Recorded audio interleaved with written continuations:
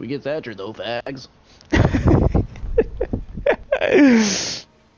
Not his gay brother. Fanatics is going to make NHL jerseys now instead Dude, of do you see Adidas. Everyone roasting. yeah. like Fanatics post so many like. I know not. they put up so many like, broken jerseys that they can't manufacture, right?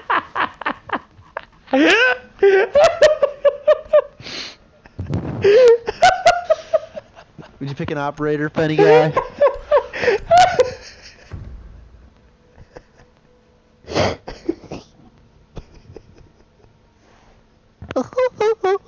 I laugh like that